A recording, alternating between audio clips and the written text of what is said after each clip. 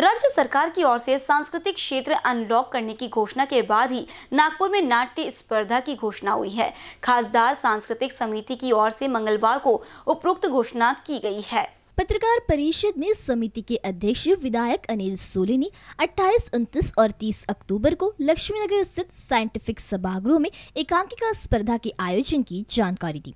उन्होंने कहा कि कोविड संक्रमण के चलते पिछले डेढ़ साल से सांस्कृतिक क्षेत्र अनलॉक है। संक्रमण का प्रभाव कम होने के चलते धीरे धीरे एक एक क्षेत्र अनलॉक किया जा रहा है। अब 25 सितंबर को ही मुख्यमंत्री ने धार्मिक और सांस्कृतिक क्षेत्र अनलॉक करने की घोषणा की है। इसे देखते हुए नागपुर में खासदार ट्रॉफी खुली, एकांकी स्पर्धा की घोषणा की गई है। यह स्पर्धा हिंदी व मराठी दोनों भाषा में होकर विषय देशभक्ति व स्वतंत्रता लड़ाई पर आधारित रहेंगे। स्पर्धा का पुरस्कार वितरण समारोह केंद्रीय मंत्री नितिन गडकरी के हाथों 31 अक्टूबर की शाम 6 बजे रेशम बाग स्थित कविवर्य सुरेश भट्ट सभागृह में होगा।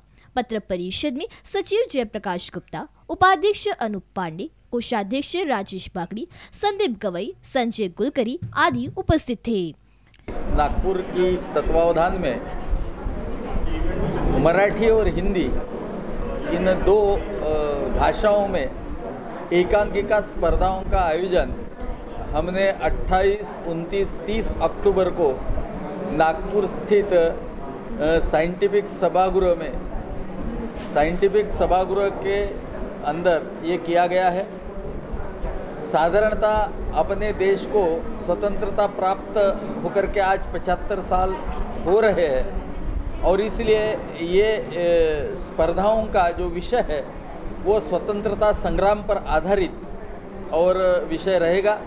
ये एकांकिका स्पर्धा है और मराठी और हिंदी, ये दो भाषाओं में इसका मंचन होगा। इसलिए हम नागपुर क्षेत्र में काम करने वाले सभी नाट्यकर्मियों से और अभिनय करने वाले सभी हमारे मित्रों से अनुरोध करते हैं कि लक्ष्मीनगर स्थित गंगोत्री अपार्टमेंट में जो हमारा खासदार सांस्कृतिक महोत्सव समिति का कार्यालय है, इस कार्यालय में एक अक्टूबर से लेकर 10 अक्टूबर तक सुबह 9 से 3 के बीच में आप आकर के अपने चमू का रजिस्ट्रेशन कर सकते हैं। कैमरा पर्सन राजकुमार मोड़ के साथ अभिषेक पान से बीसीएन न्यूज़ नागपुर।